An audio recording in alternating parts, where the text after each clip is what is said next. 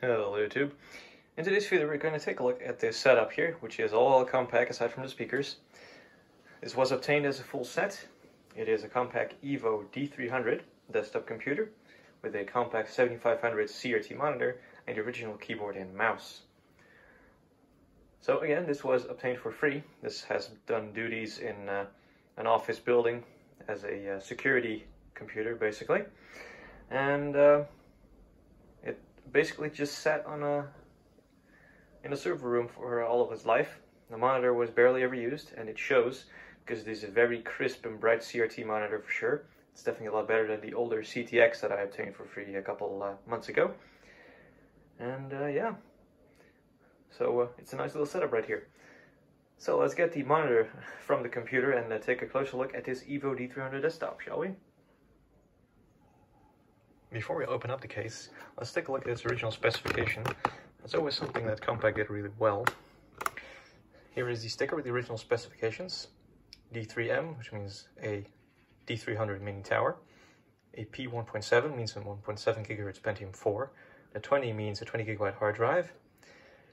The 26, 256 right here means 256 megabytes of RAM. And uh, NL means that it was made in the Netherlands, or at least sold here and of course the accompanying serial number. This has a Windows key. This is Windows XP Professional. These machines are also available with Windows 2000. To get it open, just two thumb screws in the back. We can pull it out like so. It's definitely a very heavy duty machine, that's for sure. I had to replace the fan in the back there because it was no longer spinning properly. And when I lubed it up, it was vibrating like crazy. So I uh, had to replace that. It's 92 millimeters. CPU fan is right here. In fact, let's see if I can pull it forward a bit more. There we go. See if we can get a better look inside. It's a pretty anemic little cooler for a Pentium 4. It's, it seems like they just took the Pentium 3 cooler, uh, modified the uh, retention mechanism a little bit and uh, stuck that on. I have a replacement processor on the way. This is a 1.7 Willamette processor. I'm going to be replacing the 2.6 GHz Northwood. Already updated the BIOS on the system. The RAM slots are located under here and we can't get them in view, I don't think. But we currently have two 512 sticks in there. It had the original 256 megabytes, which is pretty neat. Under here is the hard drive. It's a 160 gigabyte Hitachi. Originally came with a 20 gigabyte like we said. Uh, this already came with the system. I did not upgrade that. I did upgrade a video card though. It came with an NVIDIA Vanta 16, which is pretty anemic. And uh, I put in a GeForce 3 Ti 200. Had that laying around, 64 megabyte. And uh, it's definitely pretty quick. I also tried an FX 5200 that was actually slower than the GeForce 3 and had a GeForce 4 MX 460 which was about 10% slower than this card, but it's only GeForce 2 core in the end, so uh, you lose some features like hardware transformer lighting and all that. Not to worry though, like I said, the Mini Tower is a system focused on expansion, and we have a connector here that sort of looks like an SCA80 SCSI connector, but it is actually to add extra PCI slots over there. So you can have one, two, three, four, five PCI slots, as well as this one 4X AGP slot here. Power supply is 250 watts. It is original to the system, and uh, it seems to work okay. I even tried a Radeon 9700 Pro on here that needed extra power, and even that, plus the Pentium 4, didn't seem to uh, worry all that much. So, uh, yeah, hardware-wise, this thing seems all in good order. Didn't expect any anything else, but, you know. Also, uh, just taking a look around, the capacitors on the board everywhere seems to be pretty much mint. There's barely any dust in here either, so overall, very nice condition system. So let's get the lid back on and uh, boot it up and see uh, how she runs. Okay, power on time. No smoke test because I know it works. There's one little downside, you'll notice that in a couple of seconds exactly that, that the chassis fan cannot be detected. That's okay though. you can just ignore the setting and move on anyway.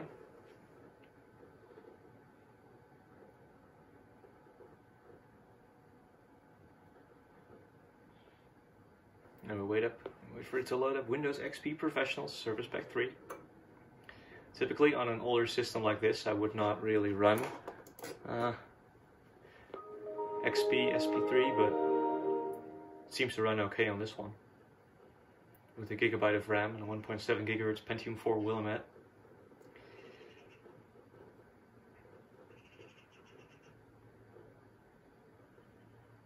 Alright. It's not an original Compaq image, I just uh, put a Compaq background in there. This is a bare install of Windows XP using a clean OEM Windows uh, XP CD-ROM.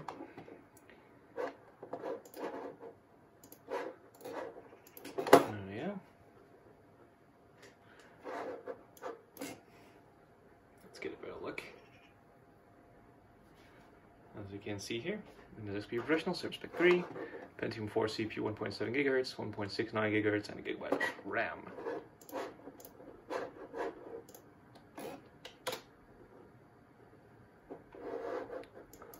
Let's run some other software here.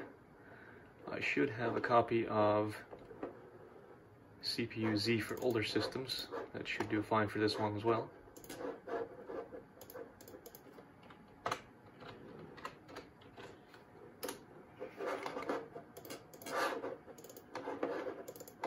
Let's open up CPU Z here.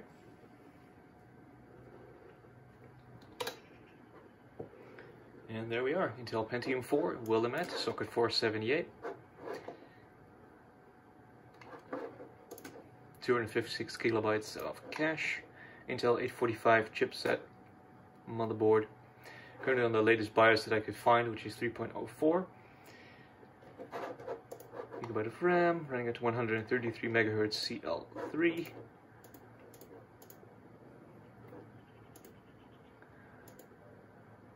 One of the sticks is capable of running CL2 133, but I don't have that many 512 SDRAM modules, so. And we have the NVIDIA GeForce 3 Ti 200. It's currently running on the built-in Microsoft driver. I've also tried one driver older and one driver newer, and the performance difference is non-existent, so there's no reason to bother that much with that. Alright. So let's take a look at some software and maybe some games. Let's see here. We have the Microsoft Office Suite version 2003.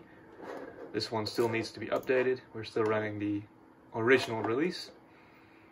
I need to find a Service Pack 3 copy somewhere. I used to have one, but for some reason I lost the file, so who knows what happened to that.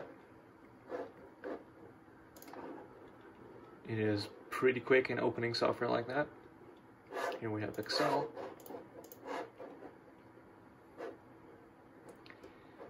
And here we have Microsoft Publisher 2003.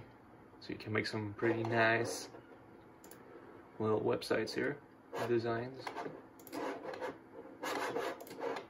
So yeah. Let's play some of my childhood games here that I really used to play a lot when uh, our main computer was still a Pentium 4 era system. In fact, from 2001 all the way to 2008, uh, at home we were stuck with Celeron 1.7, was also Willamette, but that was the Celeron version, so half the cache. 256 megabytes of RAM, and that ran XP Service Pack 2. It was pretty bad. But at least it ran RuneScape. That was all I needed to play at the time, so. Uh, let's see here.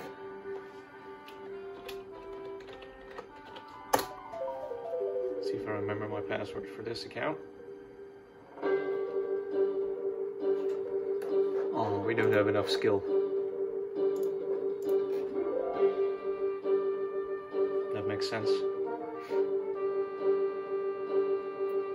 Otherwise, you would have noticed a way better video quality over the years, wouldn't you?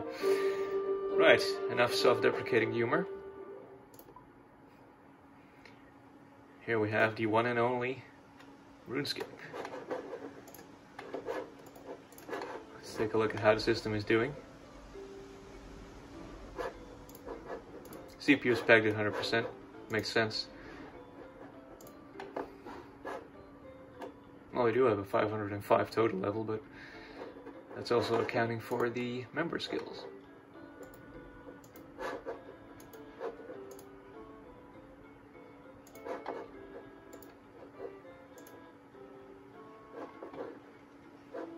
This is honestly not that far off uh, from when I played this game. Why would I want that? Put it back. Right. Let's get our armor here. We appear to have some trimmed adamant armor on this account. Put our cape on. Put chicken costume back. Oh yeah.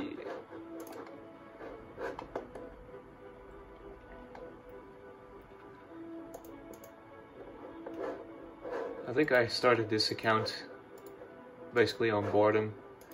Couldn't be bothered to run my main account because it has higher skill levels, so everything takes a hell of a lot longer.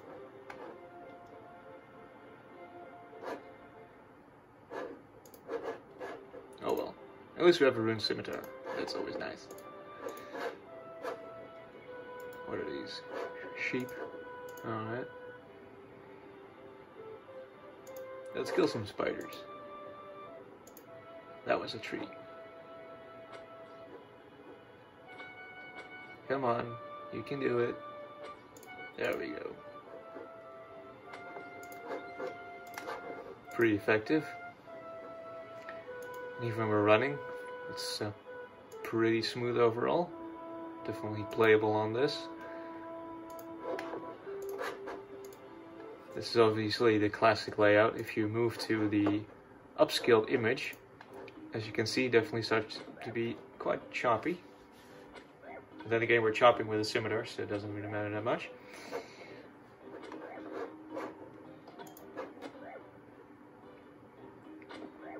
Let's kill this guard while we're at it.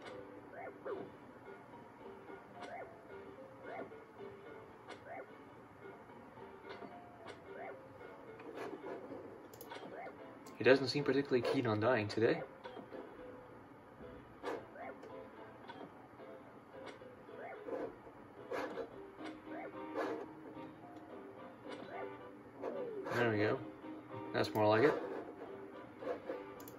I enjoy playing. Let's log out. Uh, okay, obviously the 10 seconds after combat still applies. So no, that works. That's always neat.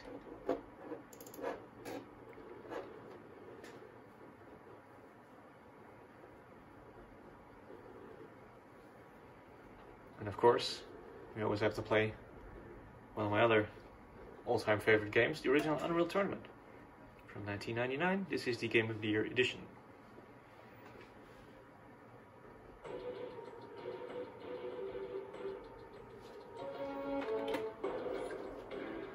I have this set up for 800 by 600 resolution. Yep.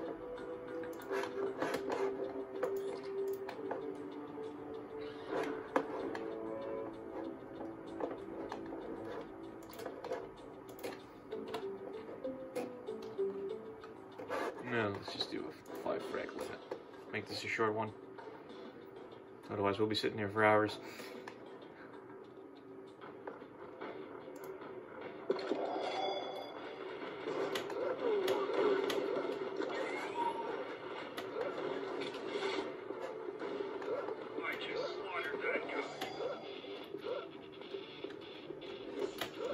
Poison crossbow.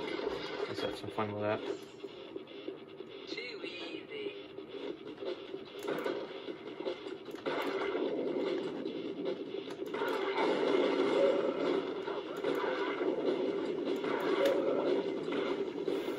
Fun.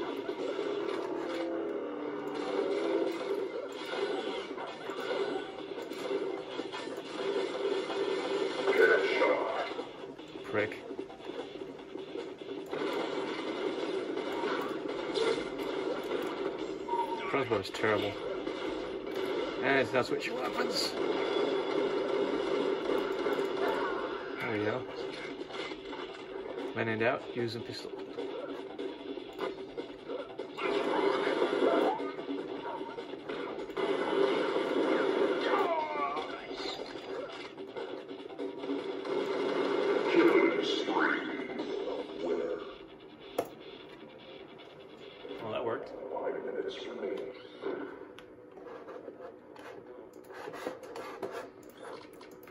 hotkey for going online, right? Let's not do that.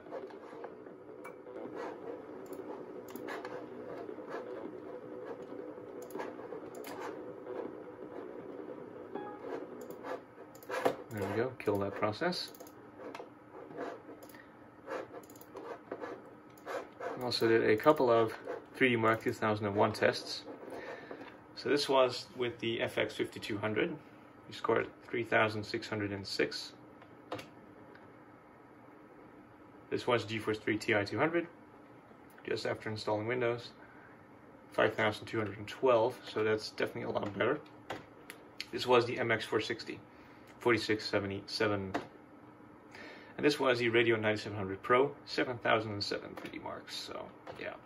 It's about twice as fast as the FX5200 uh, combination, let's put it that way. I'm definitely very keen on uh, trying to get that P4 2.6 in here. And if it works fine, then uh, we'll try some different video cards. Uh, the Radeon 9700 Pro would be a very nice bet, but I also have a, an X1600 somewhere that should be a little bit more power efficient and uh, be basically just as fast. So, you know, we'll go from there. I guess this is a good uh, point to end the video. Hope you all enjoyed it. I thank you all for watching, and I'll see you guys in the next one.